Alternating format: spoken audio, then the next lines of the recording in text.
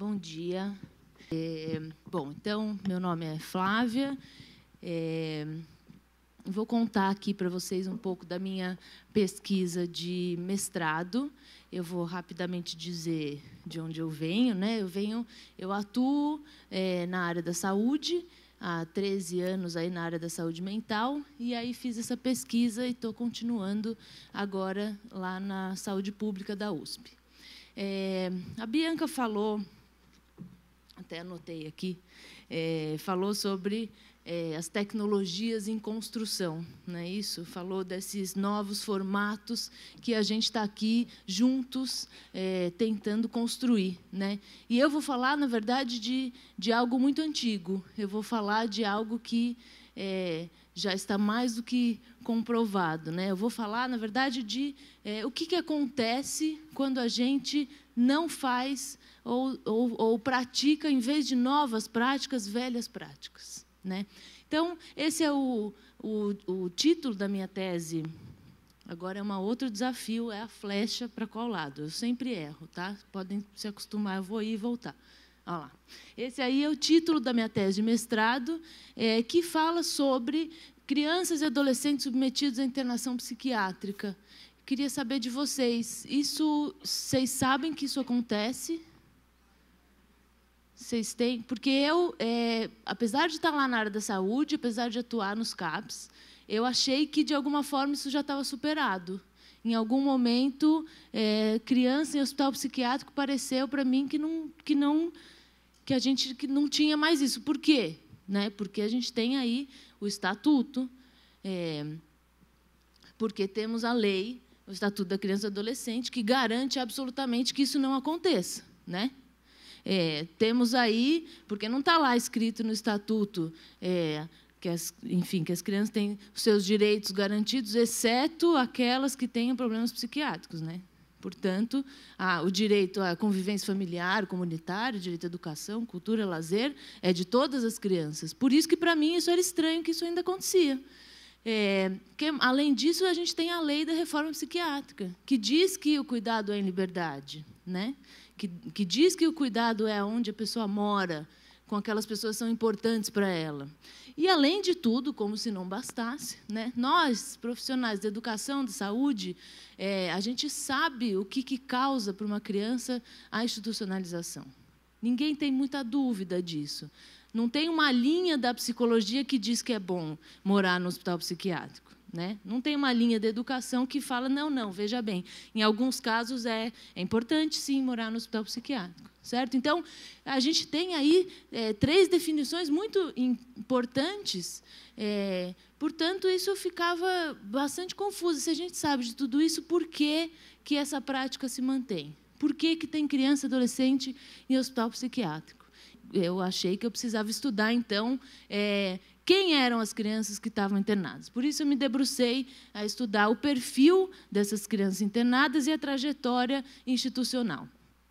É, então, eu fiz uma pesquisa no Hospital Psiquiátrico Felipe Pinel, né, aqui em Pirituba, e tinha lá já tinha uma pesquisa que tinha levantado alguns dados é, de 2002 a 2004 e eu então me debrucei a pesquisar os anos de 2005 a 2009.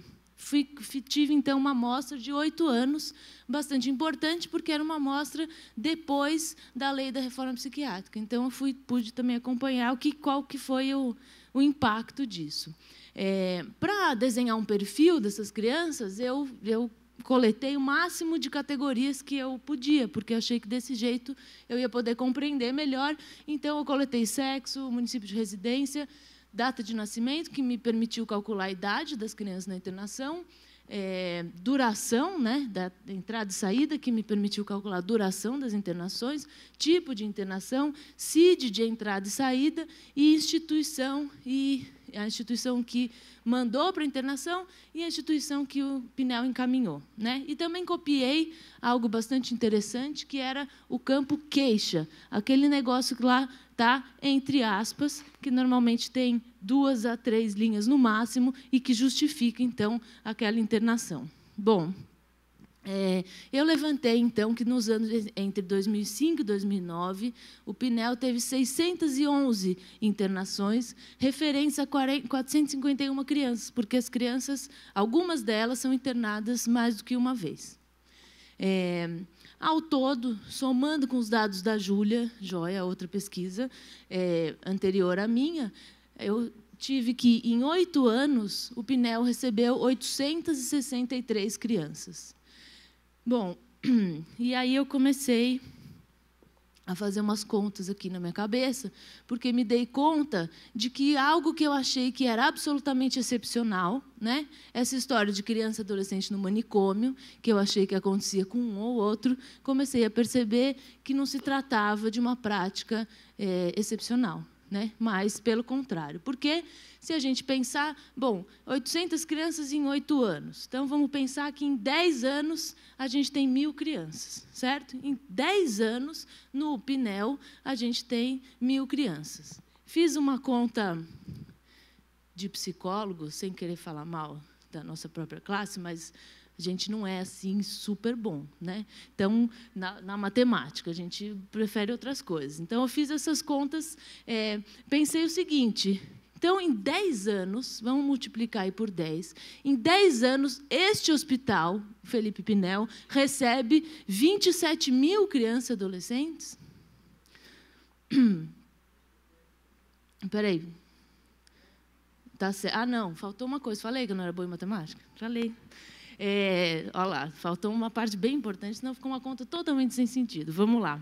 É, é o seguinte, eu pensei o seguinte, uma, uma média assim por baixo. Pensei, se cada estado, agora sim, se cada estado tiver um pinel, que tem mais, aqui em segredo, né? mas tem, tem mais. Mas vamos pensar por baixo: se cada estado tiver um Pinel, então temos 27 estados no nosso país, então, em 10 anos, no nosso país, temos 27 mil crianças. Certo? Isso não é pouca coisa. Né? E essa é uma média é, bastante. É, por baixo, né? Assim, é uma, é uma continha assim é, pensando no melhor dos casos. Então, se a gente está falando de quase 30 mil crianças, a gente está falando sobre algo que precisamos fazer. Quem? Nós mesmos, né? que, que somos aí atores é, na garantia de direito dessas crianças. Então, temos aí quase 30 mil crianças nessas condições. Né? Bom, dentre essas crianças, eu comecei lá a ler os dados, né? E aí eu vi que a maioria são meninos, a maioria, 60%, residem aqui em São Paulo mesmo, mas eu achei é, crianças de até outros estados, né? Do Paraná, Goiás, Mato Grosso do Sul. A maioria, 88%, são adolescentes, é, 76% são internados uma única vez, mas tem crianças com até sete internações. É, e aí eu, eu para entender um pouco, então, como que essas crianças chegam lá, certo? Eu, eu me dediquei a entender o caminho institucional que elas fazem. Né? E descobri dois caminhos principais, que são as crianças é, encaminhadas por serviço de saúde e as crianças encaminhadas por ordem judicial. É, eu chamei de circuito 1 e circuito 2 e vou contar para vocês como que são esses caminhos. É, circuito 1, então, do serviço de saúde, e circuito 2, por ordem judicial. Tá tudo bem? Posso continuar? Tá bom. Qualquer coisa, me interrompe aí e pergunta. É, bom, tem aqui alguns é, gráficos, tem muitos outros, depois é, eu posso disponibilizar, enfim, a gente se fala, mas então, só para vocês se acostumando, o azul é o circuito 2 por ordem judicial e o laranja é o circuito 1. Um. Eu vou passar esse gráfico, mas ele é só para mostrar que, como agentes encaminhadores, é, o circuito 2, é, as crianças e adolescentes que vêm aí é, por ordem judicial, elas já tinham, elas vieram ou de abrigos ou da Fundação Casa, na sua maioria. E as crianças do circuito 1 vêm, na sua maioria, do, do pronto-socorro. Eu fiz uma análise, então, comparando, porque eu pensei, eu depois pude perceber que essas crianças, ou que esses caminhos, eles são um pouco diferentes, e aí vou contar para vocês, eu acho que a gente, aos poucos, começa a se achar aí no meio desses caminhos das crianças. Então, o circuito 1, quer dizer, o circuito das, dos próprios serviços de, de, saúde que encaminham. Como são essas internações? Né? Que, que jeito que são essas internações dessas crianças? É, a média de duração é de 30 dias. É, eles são internados, na grande maioria, uma única vez. A grande maioria também, é, 40% de adolescentes de 17 anos, é, que tiveram lá uma crise. Então, eu vou explicar é, é, como que funciona esse, esse circuito. É, o que eu pude perceber é que muitas crianças, por diversos motivos, elas estão fora do sistema de saúde.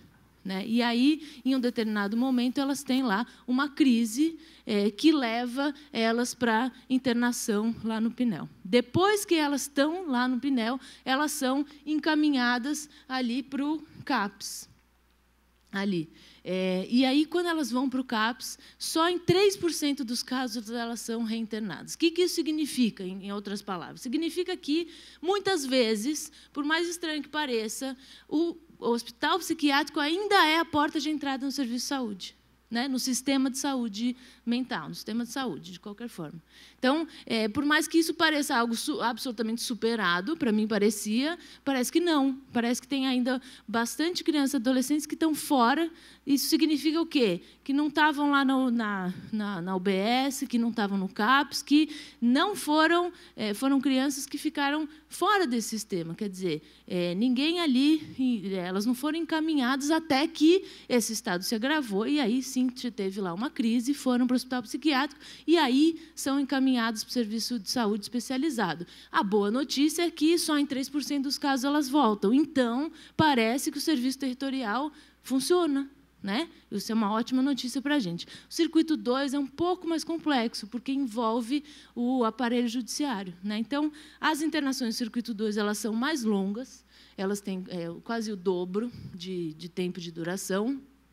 É, elas são, tem, a gente encontra mais números de crianças, né, até os 12 anos, e são é, internações maiores, né, no, no, na dura, em sua duração, e tem mais reincidência de reinternação. Eu vou já explicar por quê.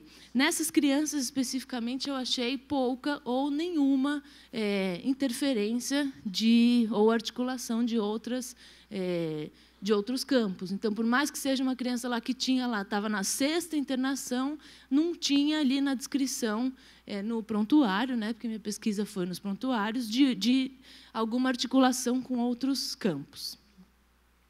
É, bom, esse é um gráfico aí que tem a, a média é, de dias por idade. Isso é só para mostrar para vocês que tem crianças muito novas sendo internadas, né? Eu achei ali é, crianças de nove anos com longas internações. É, alguém falou alguma coisa? Não. Tá. É, e aí queria discutir isso um pouco com vocês. É, o que, que eu fui entendendo, então? Então, eu entendi que tem um caminho né, que a criança está lá apartada do seu do sistema de saúde que leva para internação psiquiátrica. E tem outro caminho, né, que a criança está lá, ela já foi para o abrigo, foi para a Fundação Casa, ela já teve outras intervenções do Estado, é, do, né, do, aparelho judiciário e foi, voltou, e o, e o, manicômio vai entrando nesse mesmo. E aí eu cheguei nesta, nessa definição de circuito.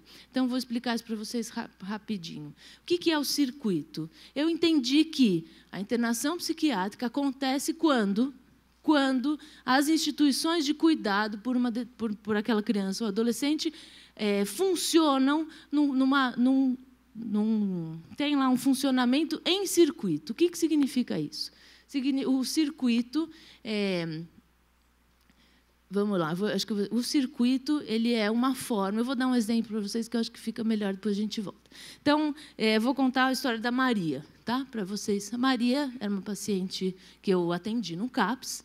É, e a Maria, então, vou contar a história dela rapidinho. Maria era uma moça, uma menina esquisita, né? Ela tinha lá falava muito pouco.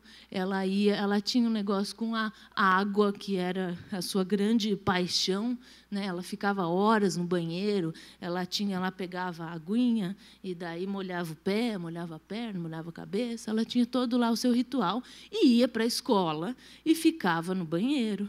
Né? Ali, naquele tempo, a compreensão era um pouco diferente. E a gente, por algum motivo, a escola entendeu que a Maria não estava se beneficiando, porque, afinal, ela não, quase não ficava na sala de aula. Né? Afinal, ela ficava muito tempo no banheiro. Né? E a Maria não ia aprender a ler, porque ela nem falava. Então, então, por algum motivo, aquela escola, naquele momento, entendeu que a Maria não se beneficiava do ambiente escolar, porque ela não, muito provavelmente não aprenderia a ler e não, e não ficava, não permanecia na sala de aula durante muito tempo. Né? Bom, com isso, a Maria é então encaminhada para o quê? Para uma instituição filantrópica especializada. E aí depois a gente pode até é, pensar um pouco nisso, que eu acho que é uma coisa bem interessante. Né?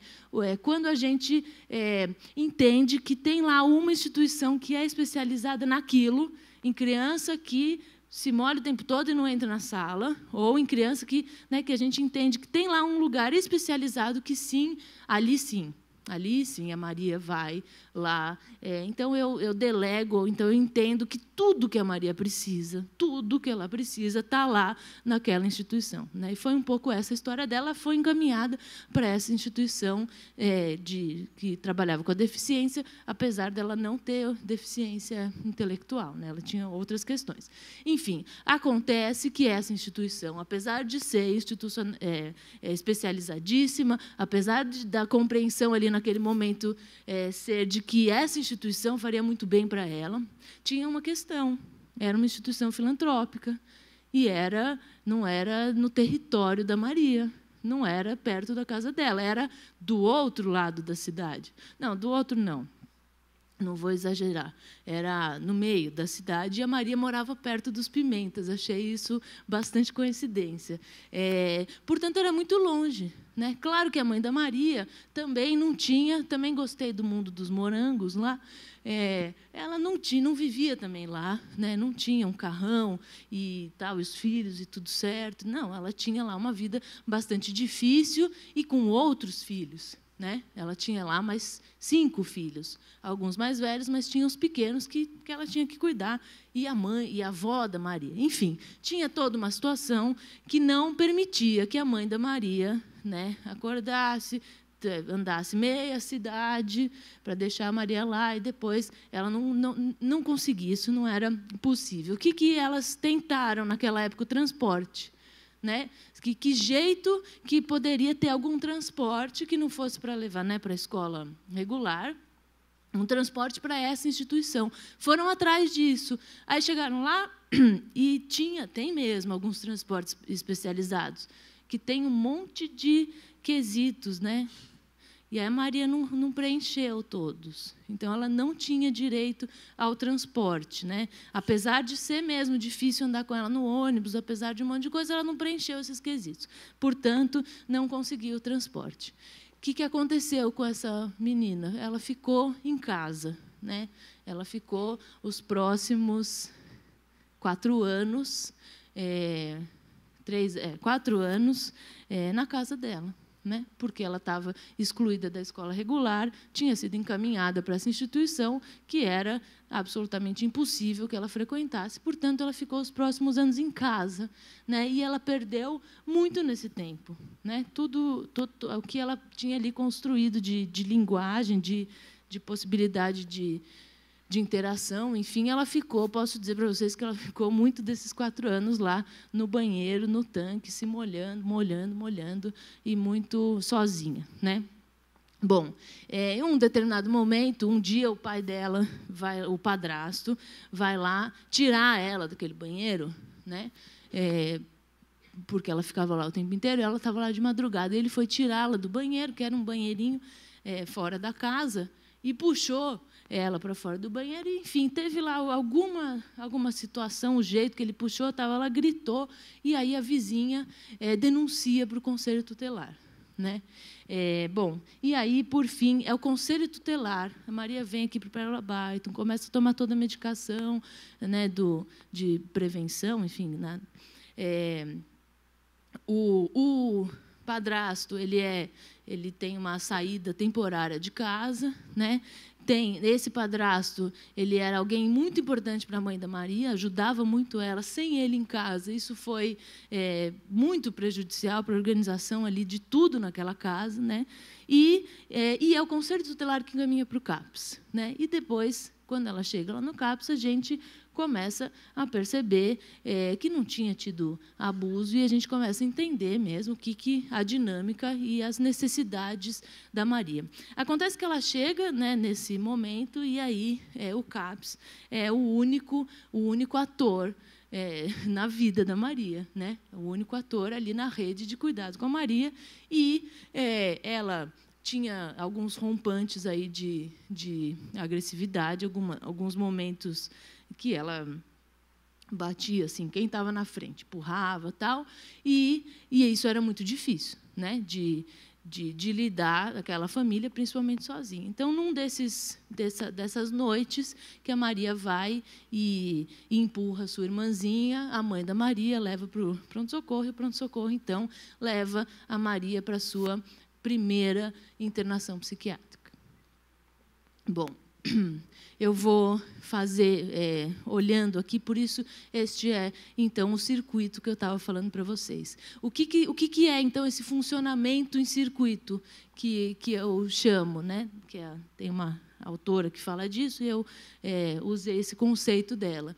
O funcionamento em circuito ele é uma lógica de atendimento, né? Como que é essa lógica?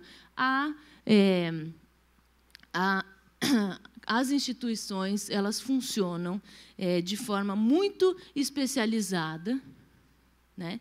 É, e vão então encaminhando para a próxima instituição aquilo que não lhe cabe.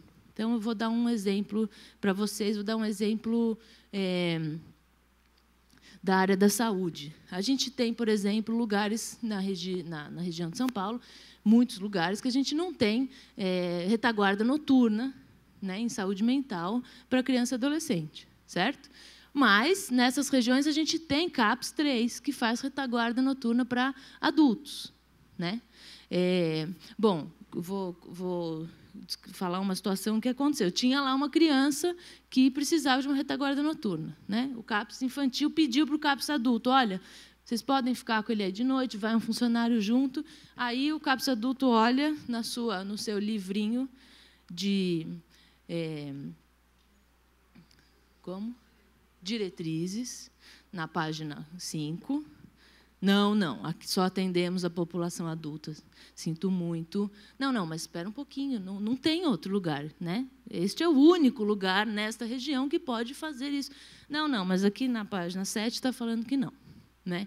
Então, é, isso se trata de um funcionamento em circuito. Né? Quando as instituições elas se apoiam nas suas é, atribuições, né? esquecendo que as nossas atribuições são atender as pessoas. Não adianta nada eu ficar lá com o meu livrinho com a página 5, 7, 10, 9 e não e se essas atribuições não respondem às necessidades das pessoas, certo? Então, é, o que a gente pensa, o que a gente faz essa, essa contraposição é do circuito em relação à rede. Né? Então, como que poderia ser é, a rede, na verdade, trabalha numa outra lógica, que é a lógica da corresponsabilização. Né? que é a lógica de entender que a Maria não é da escola, nem da instituição, porque a escola, depois que encaminha para a instituição, acabou, né, Maria? Não, caminho aqui não. Aqui a gente não tem pessoal, aqui a gente não tem como fazer isso, aqui não dá para Maria. Tenho certeza absoluta que em outro lugar vai dar, mas aqui, aqui não dá, né? Não posso, não vai ser bom. E a escola, eu estou dizendo, é, não exclusivamente, né? A gente tem isso dentro da saúde, a gente tem, então, ah, é, não, aqui neste CAPS a gente está tá sem psiquiatra, então ah, não dá. Então, eu vou encaminhar ela para um outro lugar. Isso se, se repete, porque se trata de uma lógica, né? de um jeito de funcionar, que eu falo aqui não dá e vai para lá. No momento que a Maria é encaminhada para a instituição filantrópica, ela some da escola. Né? É como se ela não existisse. É, acabou, foi para um outro lugar. Né? E lá esse lugar vai cuidar dela. Então a gente pensa é, no atendimento em rede como uma lógica diferente, né? Uma lógica que não é hierarquizada, uma lógica que parte é, parte do princípio de que o, que o que a gente precisa trabalhar é com a necessidade daquela criança ou adolescente certo? Eu preciso, antes de pegar o meu livrinho, entender o que, que a Maria precisa. É claro que eu não estou dizendo que, que a escola tem que é, absolutamente sair das suas funções e o CAPSA não é isso, né? Mas que a gente precisa, claro, ter uma flexibilidade e isso que a, que a Bianca falou, né? E a gente precisa inventar novas práticas, porque tem um monte dessas práticas que a gente que já está antigo, que não dá mais, né? que é a da, da, segregação, da exclusão, isso, isso não dá. Né? Claro que a gente não pode chegar aqui e falar, né, tirar uma, uma, uma receita. Né? Talvez a receita que a gente vai tirar é vamos pensar juntos né, a cada situação. Por quê? Porque reconhecemos que as situações são complexas, são muito complexas. Então, como seria é, uma. Eu perdi a noção do tempo, vocês precisam me 15 minutos, tá? É, como seria, como que a gente podia atuar em rede na vida da Maria? Então vamos pensar. A Maria então estava lá na escola, né? A escola, não estou dizendo que a escola é obrigada a não ter dificuldade nenhuma a ficar com a Maria, claro, certo? É, então a escola tendo, vamos pensar, se naquele momento a escola frente às suas dificuldades entendesse então que, olha, a Maria aqui cinco vezes por semana, o período inteiro está difícil está difícil para ela, está difícil para os outros, né? Vamos pensar o seguinte, então, vamos compartilhar? Então, a Maria pode vir segunda e quarta na escola, e daí ela pode ir é, terça, quinta e sexta, sei lá, na instituição filantrópica, ou então ela pode ficar um tempo um pouquinho mais curto na escola, precisa ficar o período todo, que para ela é muito cansativo.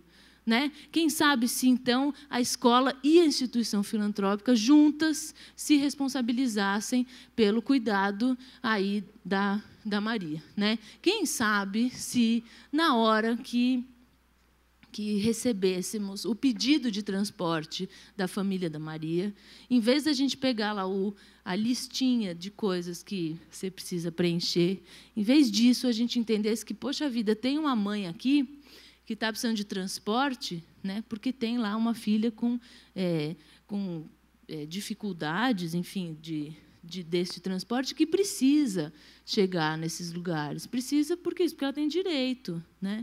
É, precisa porque é uma criança em desenvolvimento. Quem sabe se a gente recebesse esse pedido desse jeito e falasse, não, ok, então a gente vai ver o transporte, inclusive né? Tem todas as outras crianças na casa dela. Quem sabe se a gente pudesse ajudar a mãe da Maria é, nesse é, no encaminhamento aí das crianças, inclusive para as, para as outras escolas e tal. Para quê? Para que a mãe da Maria pudesse ficar mais, é, ter tempo né, para se dedicar aí ao tratamento dela. Bom, se assim fosse, né, é, olha só como que fica. Né? Isso é uma rede. Né? Isso é uma rede com vários atores implicados no cuidado da Maria, né? com, vários, é, com várias instituições que são formadas por pessoas, né? com várias pessoas e instituições absolutamente corresponsabilizadas por esse cuidado. Certo? É, nesse, nesse, dentro dessa rede, vocês percebem que não cabe internação. Então, é, o que eu estou dizendo é que a rede ela se trata de, um, de uma lógica, é um jeito da gente fazer as coisas. Por que, que eu estou Quem que falou isso? É você. É, é, um jeito da gente fazer as coisas, porque se você olhar aqui, é, eu não coloquei propositalmente, eu não coloquei é, o que deveria ser né? O que deveria, claro, a gente deveria ter muito mais CAPS, a gente deveria ter muito mais, enfim, a gente é, e, e, espero que teremos um dia, mas a gente não vai poder esperar que todos os equipamentos estejam completos, que todos os profissionais estejam contratados, que a gente a gente não vai poder esperar este momento é, para poder atuar em rede, porque é, a, a rede ela se trata de uma de uma lógica, de um jeito que eu peço, que eu recebo aquela criança. É, então, eu, eu discordo absolutamente. é, a gente já vai falando mais disso. Eu só, eu só vou pegar isso que você falou. A gente não, não consegue. Eu vou guardar essa frase porque eu vou usar ela daqui a pouco. Então, o que, do que, que se trata é, isso que ela está dizendo? É, quando a gente funciona nessa lógica, eu vou, eu vou separar bem. Como, como que se chama? Márcia. O que a Márcia falou que ela está aqui me, me ajudando. É, eu vou tentar é, nos, deixar mais claro o que eu estou dizendo.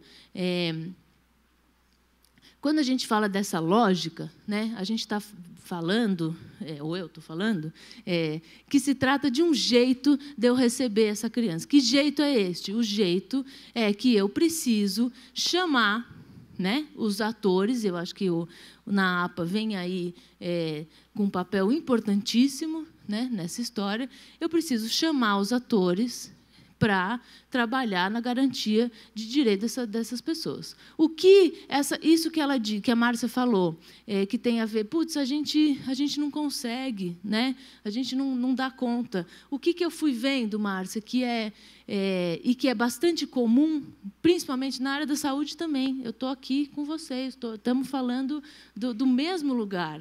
Né? Não tem muita. O que vocês vivem na educação, a gente vive também. Né?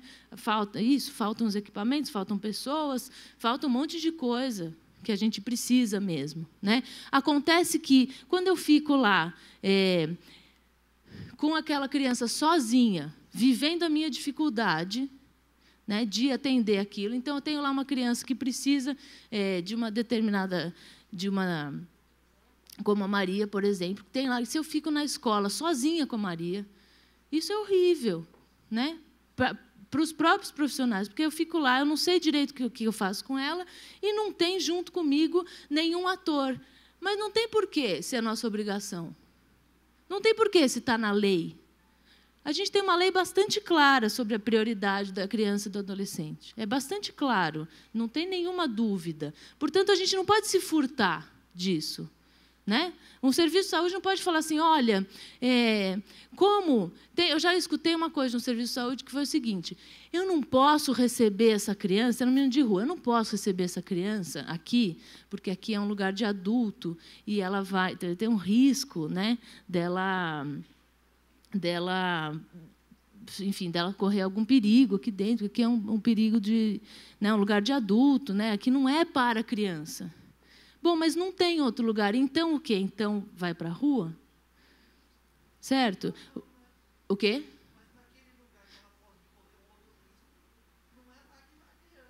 Não é lá que vai a criança, mas o que, que eu vou. O que, naquele momento, o que, que eu vou dizer?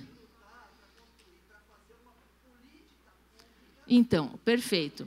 Obrigada por me falar isso. Sabe por quê? O que, que eu acho muito. Então, como se chama? Felipe. Felipe, então Felipe está dizendo assim: o que não pode é vir aqui dizer. Deixa eu só é, terminar, daí a gente já fala. É, Felipe está falando: o que não pode dizer que tem solução, uma coisa que não tem solução? É isso que você disse?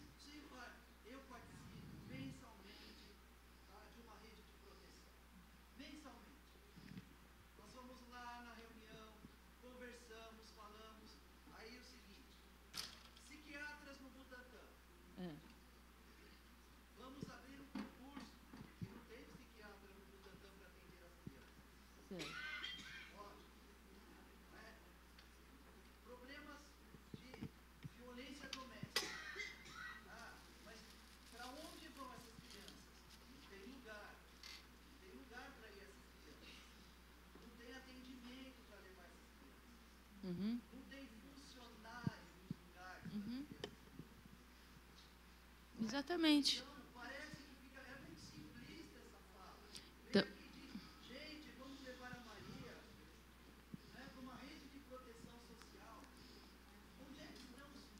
Felipe, mas.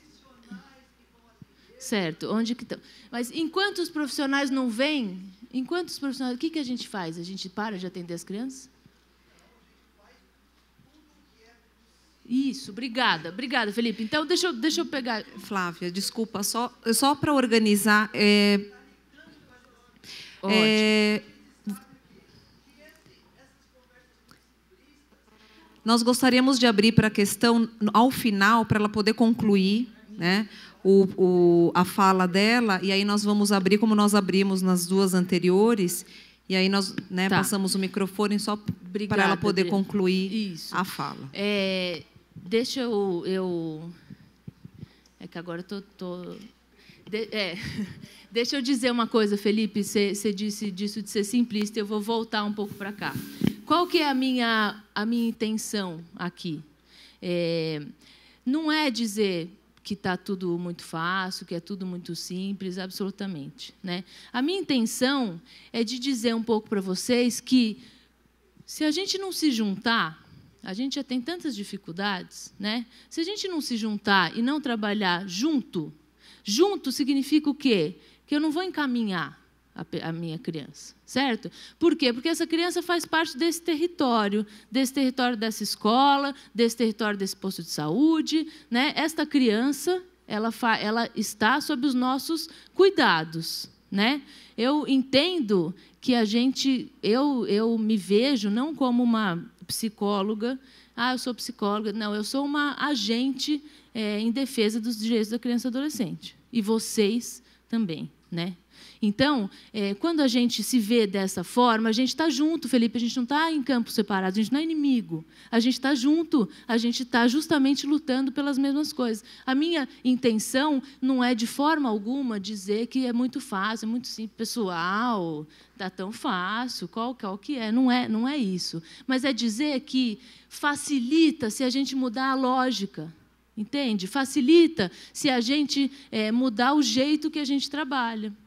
Né? E o jeito, eu estou dizendo, desse jeito de encaminhar. Sabe por quê? Porque se a gente continua nessa lógica, se eu opto, porque isso é uma opção, é uma opção. Eu posso optar por continuar. Eu vou continuar trabalhando desse jeito. Se eu acho que me, que eu não posso atender essa criança, eu não vou atender e vou encaminhar para outro lugar. É uma opção. Só que o que eu, o que eu descobri é que quando a gente trabalha desse jeito, é, a consequência é que as crianças vão para o manicômio. É que as crianças vão sendo cada vez mais excluídas. Quando eu excluo uma criança da minha instituição, encaminho para outra, e a outra também exclui da instituição dela, e a outra também exclui, o meu problema está aparentemente resolvido, mas a criança continua existindo. E onde ela vai parar? Né, no lugar máximo da exclusão, que é o hospital psiquiátrico, ou as comunidades terapêuticas, ou a Fundação Casa. Então, é, na verdade, quando eu percebi que existem muitas crianças que estão é, passando por essa situação, eu me dei conta de que, bom, talvez a gente tenha que fazer uma, alguma coisa que tenha a ver com o jeito que a gente trabalha para que isso não aconteça. Então, é, eu não estou dizendo que é simples, eu não estou dizendo absolutamente nada disso. Eu tenho um profundo respeito é, pela instituição escolar, pelo trabalho é, de todos vocês. Né? Eu só é, entendo que se a gente puder realmente se juntar, se juntar frente às dificuldades e necessidades de uma criança, né? se a gente puder realmente receber uma criança e puder entender o que, que essa criança precisa, e aí, a partir do que ela precisa, só, é só esse o meu ponto, Felipe, é o ponto de partida. Espera só um minuto. É, o meu ponto de partida é o que essa criança precisa. E a partir do que ela precisa é onde eu vou procurar os meus atores e, e, e, e formar aí uma rede de proteção é, para o que ela precisa, não o que eu preciso, né? não o que a minha instituição veio para fazer. Então, é, é isso, a gente vive isso na saúde como vocês. A gente tem muito menos equipamento de saúde mental para cuidar da infância do que dos adultos. Né? A gente vive esta realidade. Então a gente enfrenta. Eu chamo o meu colega que atende aos adultos e falo: cara, preciso de você. Preciso de você. Não, mas a minha instituição não atende adulto. Mas criança é prioridade. Criança, eu não estou largando a criança aqui. Eu vou, inclusive, um, um profissional vai ficar junto com essa criança. Eu não estou encaminhando, eu não estou passando para você. A gente só está trabalhando junto e se corresponsabilizando. Então, para concluir, é, só dizer que, na verdade, eu acho, eu acho pessoalmente que quando a gente trabalha na lógica do circuito, a gente é profissionalmente mais infeliz, porque é, ver os problemas não se resolvendo é, não é, não é, a gente não é feliz com isso. A gente gosta de estar junto, a gente gosta de ter parceiro, mesmo que for para sentar e falar, sabe, está faltando tanta coisa, está tão difícil. Olha, colega, né? Tá, tá, tá, essa criança, eu não sei mais o que fazer, você sabe? Não, eu também não sei. Bom, tudo bem, então vamos se reunir para a gente falar sobre o que a gente está difícil de fazer? Eu, eu, tenho profunda convicção, Felipe, que isso é, é, uma, é uma maneira é, muito melhor de trabalhar do que eu ficar lá sozinho né, entendendo que eu, porque sou da saúde, vou lá e preciso cuidar dessa criança sozinho, do que compartilhar não os sucessos e os morangos, né, mas as dificuldades do dia a dia. Né? Então, é, só para dizer, então, que é, neste circuito, nesse jeito de funcionar que exclui as crianças, e que leva as crianças para o manicômio, é, quando a gente faz esse tipo de resposta muito pontual. Então, ah, a criança então está agitada, então eu vou e medico. É muito pontual, certo? É, é algo. Ou então a criança está numa crise, eu vou interno. Atitudes muito pontuais que não levam em conta a integralidade daquela criança não são efetivas. Não são efetivas. Né? É, se essa criança, vou, vou lá no Pinel, tinha muita criança que, que tinha é, um currículo de identidade fracassada. Né? Que eu vou dizer o que, que é isso. A criança vai para a escola e aí ela não é um bom aluno. Então, essa é uma identidade. Ela é mau aluno, ela não consegue aprender. Aí ela vai para o abrigo, aí ela é o briguento, o insuportável, o impossível. Daí ela vai para outro abrigo e aí ela coleciona mais uma. Nossa, ela é violenta. Né? Então, você vai vendo essa trajetória em circuito, vai acumulando para essa criança um monte de não possibilidade das coisas. E a minha proposta é só que a gente, é, que é a de proposta de, de vocês também, senão não estaríamos aqui, né, é que a gente inverta esse jeito, né, que é, é proporcionar para as crianças que a gente atenda às suas necessidades né? atenda às necessidades é, delas. É, certo. Bom, e, e aí eu vou terminar e vou só dizer o que, que pode acontecer com uma moça que estava lá numa região que não tinha nada também, Felipe, não tinha nada. Não tinha nada do que deveria ter, que é a Raquel.